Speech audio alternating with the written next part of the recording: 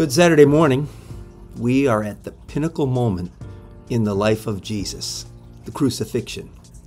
On either side of Jesus' cross are thieves who each ask Jesus something specific, questions that have a lot to teach us. One of the criminals who were hanged railed at him, saying, Are you not the Christ? Save yourself and us! But the other rebuked him, saying, Do you not fear God, since you are under the same sentence of condemnation? We indeed justly, for we are receiving the due reward for our deeds. But this man has done nothing wrong. And he said, Jesus, remember me when you come into your kingdom.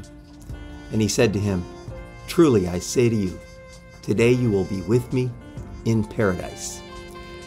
There are only two types of people that speak to God. There are the people who, like the first thief, they want God to make their problems go away, make their pains go away, or make their life better, but they don't want anything else.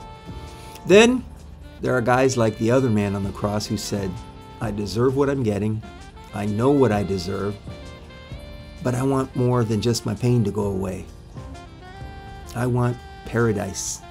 And Jesus, only you can grant paradise. Many people come to God and they're they're just looking for a way out of their problems. They don't really want God for who he is and for what he can do in them. They want God for what he can do for them. What you see on the cross is genuine faith and false faith. You see a guy who's just wanting God to make his problems go away, and then you see the other guy who makes perhaps one of the most profound statements in the Bible.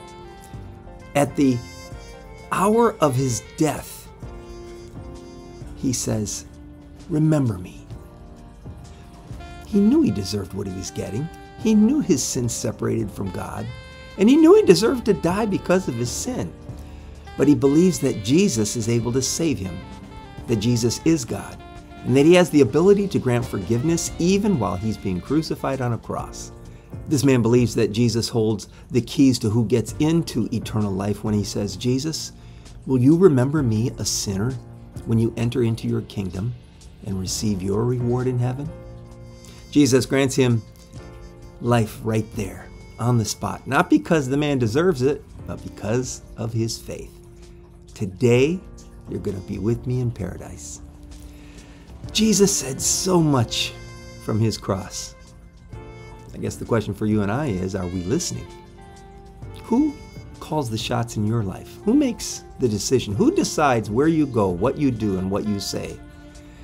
Christian, all of us on occasion can be selfish and self centered and take control of our lives. We decide, I'm going to call the shots because I don't like the way my life is going. If you know Jesus personally, do you really believe that a God who loves you enough to send his son Jesus to die for you can be trusted with the affairs of your life?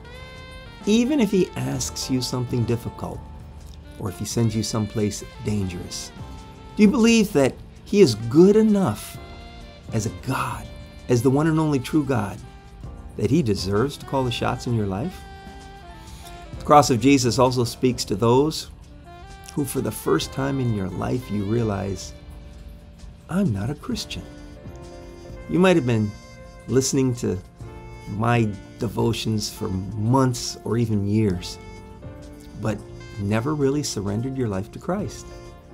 The cross of Jesus says to you, if it were possible for you to be good enough, religious enough, try hard enough to get to heaven, there's no reason for that man to die. Since you and I can't be good enough or pray hard enough to get to heaven, God sent his son to earth. God sentenced his son to death. And then three days later, he raised from the tomb. The man who once was dead is now alive. And with him will be all those who genuinely express their faith in him. Accept Christ today. Loving Father, thank you that your love was so great that you sent Jesus to be my Savior and that His loving forgiveness includes me.